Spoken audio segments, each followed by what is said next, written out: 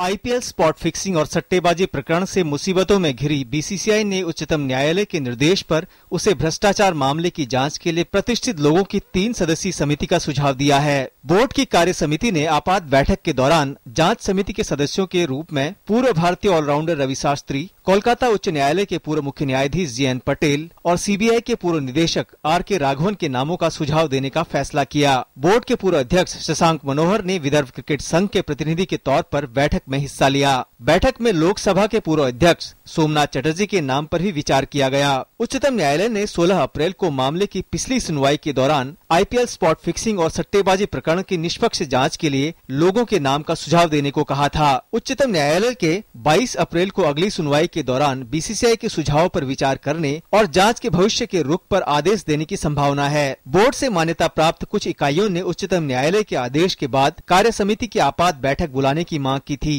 जिसके बाद यह बैठक बुलाई गयी उच्चतम न्यायालय ने 16 अप्रैल को कहा था कि बीसीसीआई को अपनी संस्थानिक स्वायत्तता बनाए रखने के लिए एन श्रीनिवासन और 12 अन्य के खिलाफ सट्टेबाजी और स्पॉट फिक्सिंग प्रकरण की जांच करनी चाहिए स्पोर्ट्स डेस्क डीडी न्यूज